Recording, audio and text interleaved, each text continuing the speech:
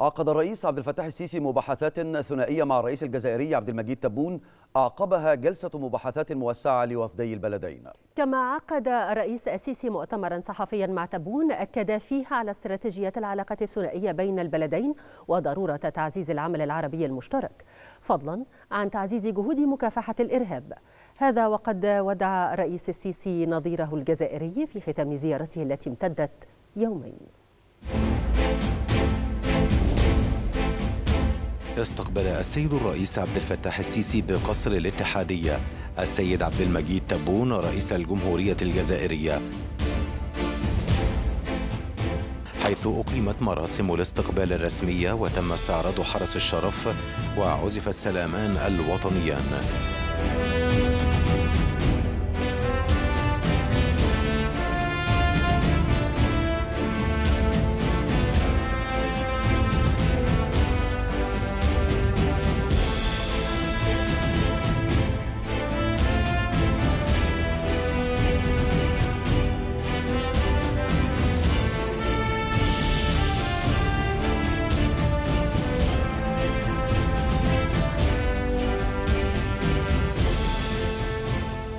المتحدث الرسمي باسم رئاسة الجمهورية صرح بأنه تم عقد جلسة مباحثات منفردة.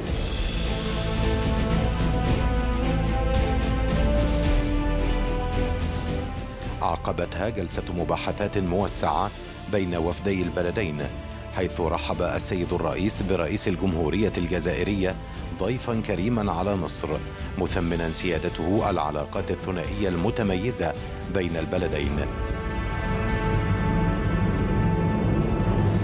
وفي ختام المباحثات عقد الرئيسان مؤتمرا صحفيا مشتركا حيث أشار السيد الرئيس إلى حرص مصر على بذل المزيد من الجهد للدفع قدما بأطر التعاون الثنائي على شتى الأصعدة بين مصر والجزائر لا سيما فيما يتعلق بتعزيز قنوات التواصل الفعال بين الجانبين على المستوى الاقتصادي وتعظيم حجم التبادل التجاري وزيادة الاستثمارات البينية فضلا عن زيادة التشاور بين البلدين بشأن مختلف القضايا الإقليمية ذات الاهتمام المشترك.